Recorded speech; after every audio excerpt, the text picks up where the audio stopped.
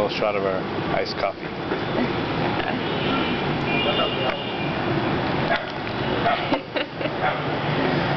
and if there's not enough sugar in there, more sugar.